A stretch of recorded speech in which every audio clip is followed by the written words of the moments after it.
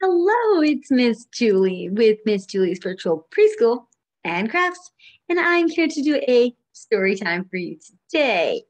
But before we get started, hit that subscribe button below so you can see when I post videos just for you. All right, I hope everybody is enjoying the end of their summer. And you know, the next season that's coming up is fall, or if you call it autumn. And sometimes, depending on where you live, this season the weather changes and may get chilly, cooler. The leaves and the flowers will change colors and new things may grow like apples. So I thought I'd share a book about apples with you today. And it's called Apple Cider Making Days. Oh, did you know you can make things from apples? Let's see how they do that. Look at the nice cover. They got their fall flowers. They're called mums, and they got pumpkins and apples.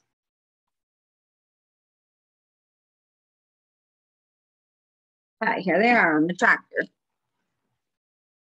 It says, Grandpa drives the tractor that pulls the wagon that carries Alex and Abigail and all the aunts, uncles, and cousins. It's fall, and these are cider making days at Grandpa's apple farm.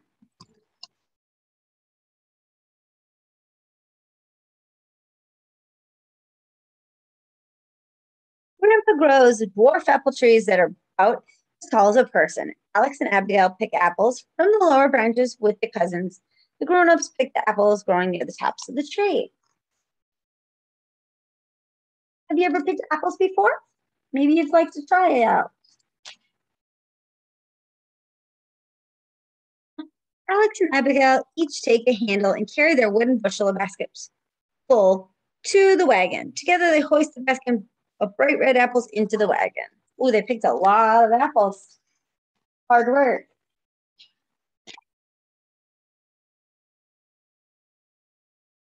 The wagon is full. Grandpa drives the tractor to the barn. Alex and Abigail dump along a bunch of, look at that, all the apples. They're bumping along. Okay.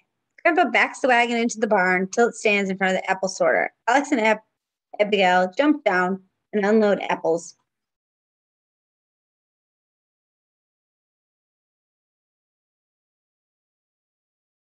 Run into the barn and take their places along the conveyor belt.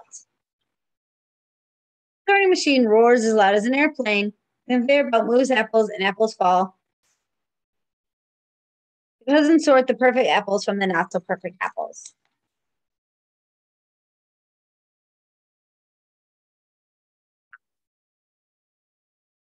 The apples move along towards the showers where the spray of water washes them clean.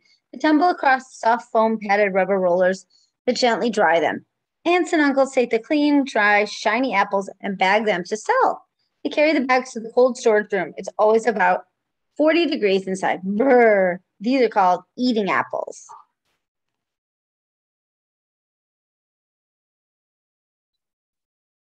Alex and Abigail and the cousins toss the apples that are bruised or oddly shaped into another conveyor belt for cider. The cider apples travel in a straight line up a slant as a ski slope. They drop down into a grater with sharp metal blades. Then they are chopped into small pieces, which Grandpa calls apple mush.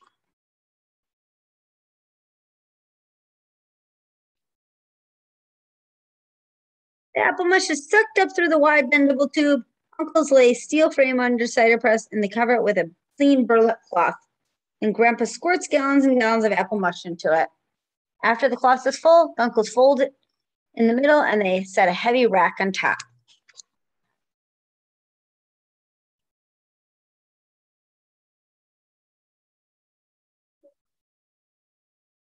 They repeat these steps until the huge pile of frames, cloths, full of apple mush and racks are piled one on top of another. Grandpa slowly lowers the pancake's flat shield plate cylinder press. The plate squeezes the cider juice out of the apple mush. As more and more pressure is, ex- the pile gets thinner. The air is filled with strong, sweet apple smell. At last, the golden brown liquid begins to flow through the clear tubing. Cider is cooled and stored in is still needed, filled jugs for people to buy. Wow, look at that process. That you didn't know that was how they made it like that.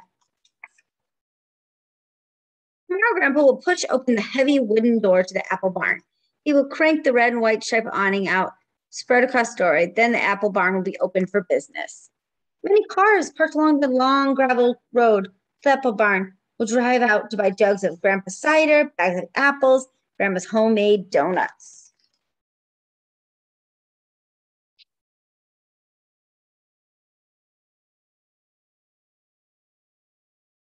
Tomorrow, Alex and Abigail, the aunts and uncles and cousins, will work all day long, waiting on people in the store, running warm donuts down from the farmhouse, pulling bags of apples from the cold storage room, and keeping the cider flowing. They are good workers and they help out for apple season. Today is the best cider making day of all. It is the day Alex and Abigail, aunts and uncles, cousins, grandpa drink the first sweet cider they all helped to make.